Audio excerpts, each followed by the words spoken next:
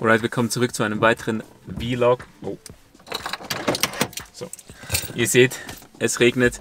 Wir sind jetzt gleich dabei, ähm, Food Shopping zu betreiben, wenn man das so sagen kann. Ja, halt der wöchentliche Einkauf. Hier ein kleiner Tipp, den ich euch mitgeben kann, wenn ihr Mühe habt, auf eure Steps zu kommen. Parkiert nicht gleich neben dem Eingang, sondern nehmt den Parkplatz, der am weitesten entfernt ist. Jetzt heute, ihr seht, wir müssen da ein bisschen abwägen, also wir wollen nicht zu weit weg parkieren, weil es regnet und ich will auch nicht zu nass werden. Von daher irgend so ein Mittelding. Gott sei Dank hat es ein, einiges weniger Leute als letzten Samstag. Da war große Wiedereröffnung bei uns beim Aldi und die hatten da einen Stand, wo sie gratis Bratwurst und Semmel verteilt haben. Also ich kam auch ein bisschen zu spät, wenn ich ehrlich bin. Ich kam so gegen 11 Uhr letztes Mal und es war die Hölle los. Du, du liefst durch, auch durch den Parkplatz und überall der Geruch von Bratwurst und du bist da so, denkst dir so, okay, ich habe gerade mein Porridge mit asozial tiefen 40 Gramm Oats gehabt.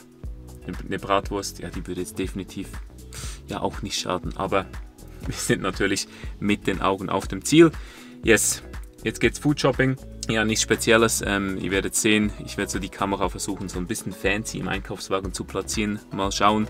Äh, ich hoffe, dass uns da niemand abwinkt und ja, let's go.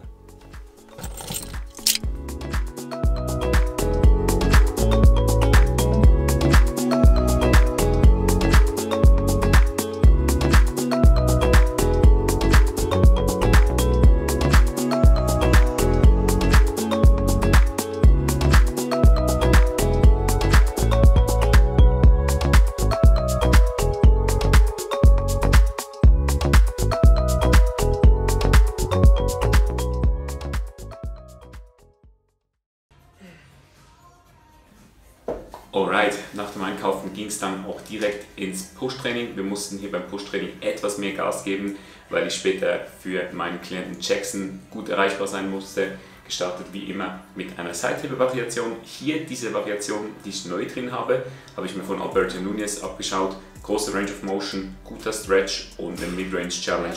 Richtig geiles Movement. Danach ging es weiter zu Hamstring Incline Press, die ich ja jetzt seit drei Wochen wieder drin habe. Ich sehe jetzt einfach vom Alignment her, ich kann hier wirklich die Brust zu einem guten Maße zum limitierenden Faktor machen. Ich kann auch gut grinden, kann gut Stabilität aufbauen. Von daher für mich ein fantastisches Movement. Danach ging es weiter zu Cybex Shoulder Press. Ähm, die wird einfach extrem, extrem hart in der Verkürzung. Also hier der beste Tipp, den ich euch mitgeben kann.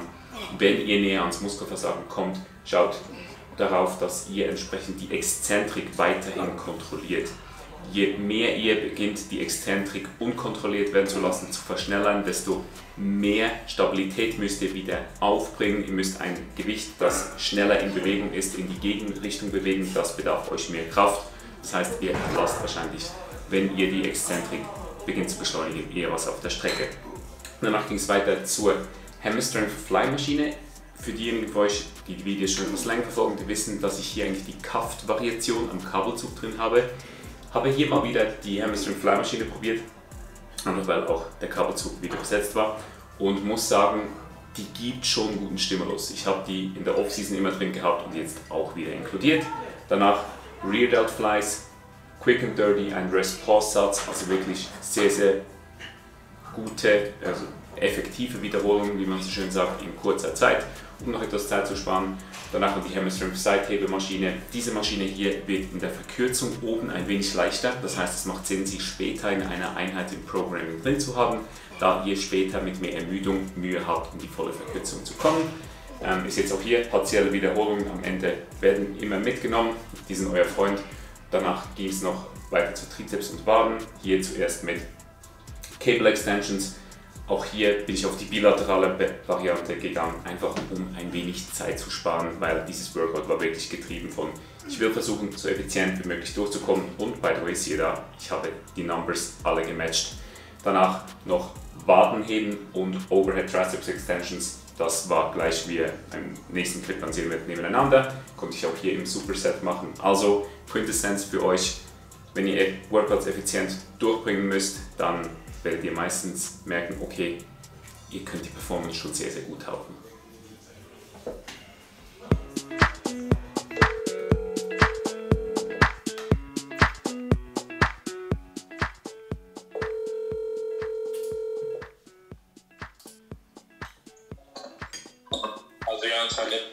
Oh, good. I'm eating as well. I just just had a workout. Um, was actually in quite a hurry because I wanted to be home on time when you get up. How was the night of sleep?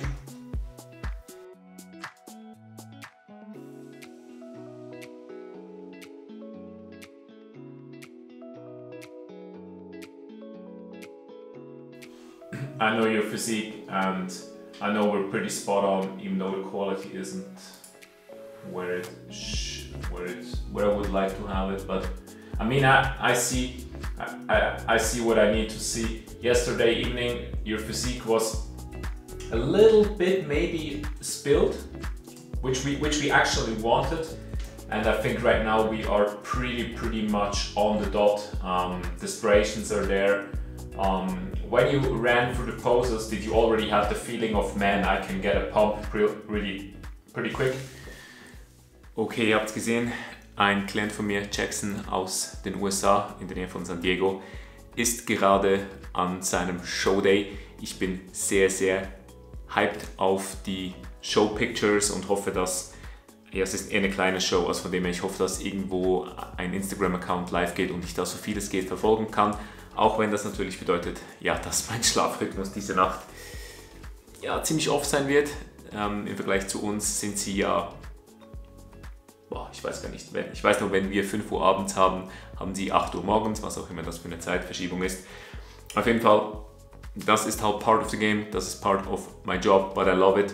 Ich habe jetzt wirklich versucht, den ganzen Tag auch die Arbeit schon so früh es geht zu erledigen, dass ich für ihn re reaktiv sein kann, dass ich wirklich, wenn er mir eine Nachricht schreibt, ich innerhalb Sekunden antworten kann, damit wir hier jetzt wirklich nahe beieinander sind, auch wenn wir eine große Distanz haben, um entsprechend das bestmögliche Paket abzuliefern.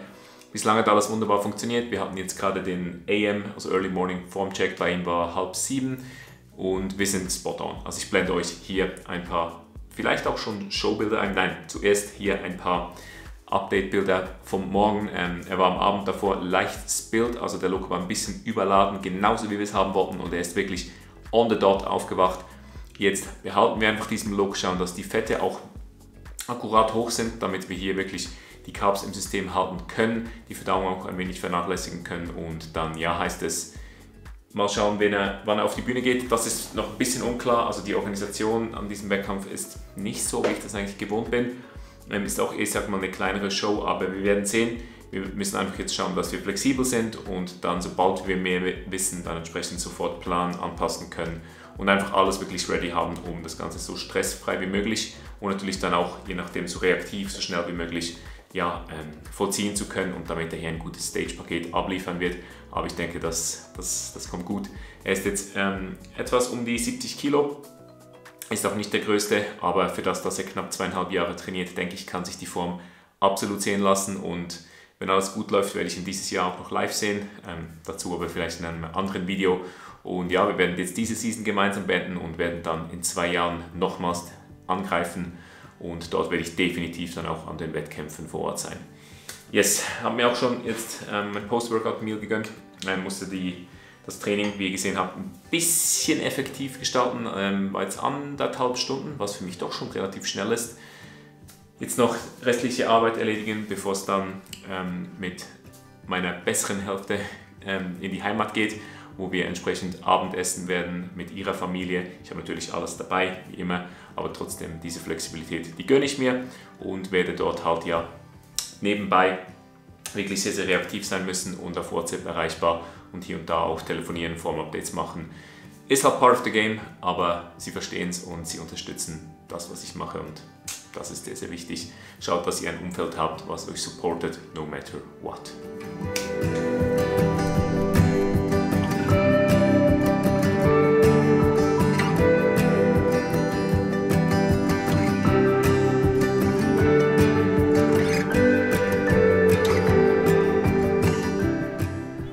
Ja, ich glaube, die Optik hier, die kann man sich schon sehr, sehr gut gönnen. Wir sind jetzt angekommen in der Heimat. Gleich geht's Abendessen für mich. Ich habe natürlich, wie gesagt, mein eigenes Essen dabei. Und hier einfach gleich ein kleiner Input für alle, die eine Wettkampf-Prep machen und sich von solchen Occasions, sage ich mal, wo ihr mit Familie essen geht etc., bewusst fernhaltet. versucht dort so lange wie möglich entsprechend teilzunehmen, weil ihr müsst euch immer bewusst sein, das Ganze, was ihr hier macht, ist ein Privileg. Das heißt, ihr seid nicht diejenigen, die bemitleidet werden müssen, die oh, ihr eigenes Essen dabei haben müssen, die verzichten müssen, sondern ihr seid diejenigen, die bewusst verzichten. Andere Menschen auf diesem Planeten, die haben keinen Zugang zu Essen, die müssen hungern und ihr macht das alles bewusst. Also seid euch ja dessen wirklich aktiv bewusst, dass ihr in einer privilegierten Situation seid und dass ihr hier entsprechend nicht die Leidtragenden seid. Und dann ist so ein Event, so, ein, so eine Social Occasion wirklich ganz anders und ihr könnt die in einem ganz anderen Licht betrachten und es fällt euch auch einfach, ja, deutlich, deutlich einfacher an solchen Events noch teilzuhaben und Freude daran zu haben, weil das ist schlussendlich das Wichtigste. Wenn ihr Zeit mit euren Liebsten verbringen wollt, wollt ihr auch Freude haben. Yes, jetzt habe ich Hunger. Ich habe Bock auf mein Gemüse, Bock auf mein Reis, Bock auf mein Fantasy Row. Man sieht sich zum nächsten Clip.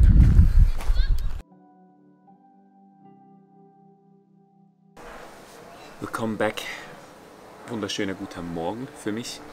Ähm, wenn ihr das seht, wahrscheinlich Abend, da ich das immer so gegen 18 Uhr hochlade.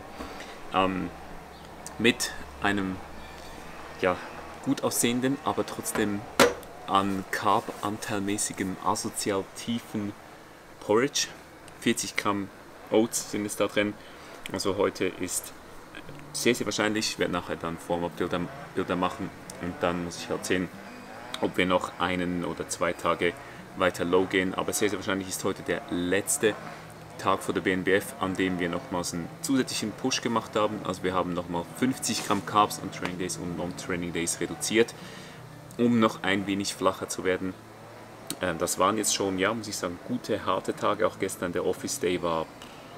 Ich wollte eigentlich zuerst am Office Day noch etwas mitfilmen, aber habe dann einfach gemerkt, okay, nee, da, da muss ich mich wirklich darauf fokussieren, Athlet zu sein und mein, einfach meine Boxes zu ticken, um entsprechend das beste Outcome äh, zu ermöglichen und diesen Tag so gut es geht zu überstehen. Dazu Supplements, Omega-3, ähm, Magnesium und Vitamin D3. Magnesium habe ich jetzt erhöht von 300 Milligramm auf 450 Milligramm, damit dies ein wenig hilft, einerseits am Abend, wenn ich es, wenn ich es nehme, herunterzukommen und aber auch andererseits ich einfach jetzt ja doch mit den Kalorienmakros schon sehr, sehr tief bin und da einfach auch den Verlust an ja, Magnesium-Mineralstoffen, was du sonst eben durch die Nahrungsmittel aufnimmst, ein wenig auszugleichen. Und ich habe es schon ein wenig gemerkt, ich werde die Dosis nochmals erhöhen auf 600 Milligramm und das Feeling ist einfach schon ein wenig besser. Äh, zu einem späteren Zeitpunkt werde ich danach auch noch ein wenig mit Zink experimentieren, aber das werde ich euch ebenfalls wissen lassen. Yes, jetzt gibt es hier Meal Nummer 1 und ja, dann noch ein kleines Review zu der Performance von Jackson, worauf ich sehr, sehr hyped bin. Und da es halt gerade hier draußen so richtig, richtig schön ist, werde ich dieses Review auch gleich hier machen und damit dieses Video auch abschließen. Ich gehe jetzt da ein wenig profitechnisch auf eine Seite und versuche euch dann hier entsprechend Ausschnitte ähm, von Stage-Videos von ihm einzublenden, damit ihr auch ein wenig eine Ahnung habt, wie das Ganze so an einem Wettkampf in den USA aussieht. Wie gesagt, es war auf jeden Fall ein kleiner Wettkampf und dementsprechend war die Organisation, muss ich sagen, auch nicht so sonderlich gut. Also es war sehr hektisch. Ähm, wir wurden dann ordentlich überrascht, als wir, ja, einige Vögel im Hintergrund wurden gerade auch überrascht. Wir wurden dann ordentlich überrascht, ähm, als es dann wirklich plötzlich einfach losging und sie sagten, okay, jetzt seine Klasse muss Backstage, obwohl wir eigentlich alles schon eigentlich eingeplant hätten und uns eigentlich so ein wenig auch einen Spielraum gegeben haben, wann wir in etwa dran sein könnten, wurden wir, wie man es so schön kennt von einigen Shows, wir wurden dann ein wenig überrascht, haben aber trotzdem noch rechtzeitig das Pre-Workout hineingekommen, bekommen, die Form konnten wir sehr, sehr gut halten. Ähm, seit, dem, seit dem Morgen, an dem wir aufgestanden sind sind so rund gegen 6.30 Uhr aufgestanden und Stage Time war dann so gegen ähm, 1 Uhr nachmittags Ortszeit, was bei mir schon Mitternacht war. Also der Tag danach war ich ordentlich am Arsch, aber ich liebe das. Ich liebe es einfach hier, meine Athleten zu supporten und es war eine geile Show. Die erste Show für ihn. Wir wurden Vierter in einer starken, sehr, sehr guten Klasse von den Open Lightweights von sieben Leuten. Wir hätten auch bei den Junioren starten können, wo ich, als ich das Teilnehmerfeld gesehen habe, ähm, wahrscheinlich sicher gewesen wäre, dass da Top 2 drin gewesen wäre. Nichtsdestotrotz wollten wir Open starten, einfach weil es da die Möglichkeit gegeben hätte, dass man sich beim Natural Mr. Olympia qualifizieren kann. Ähm, aber all good. Ähm, man hätte Dritter werden müssen, wurde Vierter, wie das halt so ist im Bodybuilding. Das Judging fällt da, wo es hinfällt und man versucht sich halt auf diese Sachen zu konzentrieren, die man konzentrieren, äh, die man, auf die man sich fokussieren kann. Das heißt, auf sich selbst, auf die Performance und dann fällt das Placing dahin, wo es hinfallen soll. Nichtsdestotrotz haben wir ein paar Learnings mitgenommen. Learning Nummer 1, auch bei ihm, wir hören Magnesium noch deutlich, deutlich, da wir mit Krämpfen zu kämpfen hatten und am Showday einfach weniger Aktivität. Die Beine sind uns etwas zugelaufen, je später es wurde und von daher das zwei Learnings zusammen mit dem Posing, an dem wir noch einen Feinschliff machen werden und dann geht es, wenn ich es richtig im Kopf habe, am 20. September ähm, nochmals auf die Bühne. Zeus Classic heißt der Event. Äh, einfach geile Namensgebung in den USA und darauf bin ich auch schon wieder extrem, extrem hyped. So, jetzt gibt es aber erstmal dieses Meal und danach catch ich euch zur letzten Sequenz zu diesem Video. Schon mal jetzt Dank vielmals für zu, fürs Zuschauen und wie immer für euren Support. Ich finde das mit dem Hashtag-Game Hashtag -Game in den Kommentaren eigentlich noch ziemlich cool und von daher für dieses Video, ich denke, lautet der Hashtag ähm, Hashtag Jackson, einfach für seine Performance an seiner ersten Show. Hat er richtig gut gemacht, der Junge, und da bin ich hyped auf die zweite Show.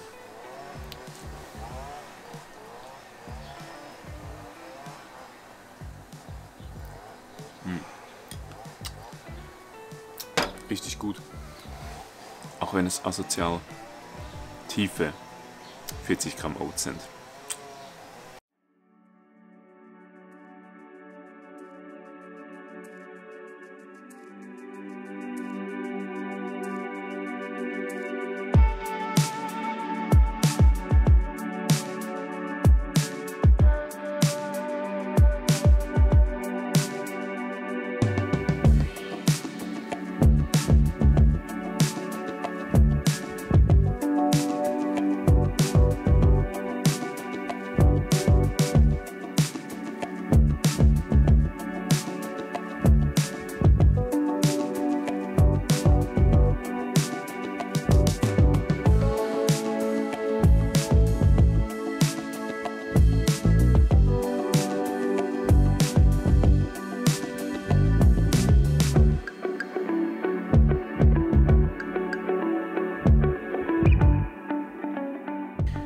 Alright, wir sind jetzt vor dem Gym angekommen. Es steht eine Push-Session an und diese Sequenz fand ich jetzt noch, oder diese Sequenz möchte ich jetzt noch gerne ins Video einbauen, weil es so schön ein wenig das hin und her zeigt, was in einer Prep mit euch passiert.